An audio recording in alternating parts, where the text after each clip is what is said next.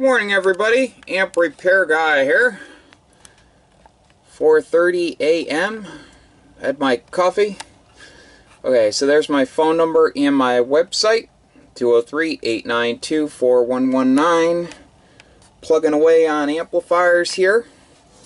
So today we are working on a Ameritron AL811. Plate choke was damaged the braided wires for the anode caps are severely frayed, so I'll replace those. I have a new plate choke here. I'm going to add the gas discharge tubes.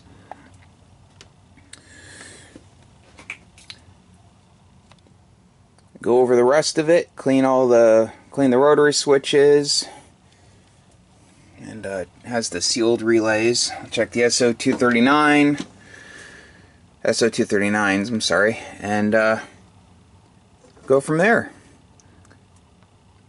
Stay tuned and I'll be back.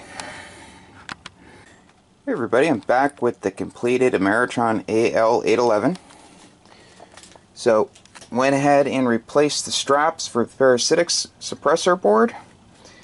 Replaced the plate choke that was damaged. Put in gas discharge tubes, one per side of the filament. All filaments are in parallel, so just need one per side. I made a copper strip piece for the connection between the plate blocking cap and the plate choke, which goes up underneath the parasitic suppressor board.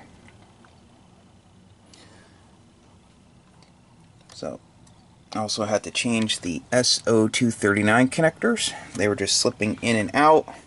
Had to replace the fan. The ear was broken on the old one. And the grill guard was pushed in, so it wasn't even turning. Bent the metal back the best I could.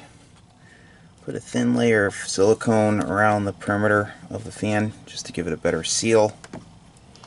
So this thing had been beat up pretty good, so did my best to bend it all back. So, cleaned the rotary switches, checked everything else over, tightened up on all the hardware. And this thing is good to go. If you need an amplifier repaired, feel free to give me a call. 203 892 4119. That's 203 892 4119. And my website is amprepairguy.com. And it's got brand new Pentalab tubes, 572s. Take care. Have a great day. 73.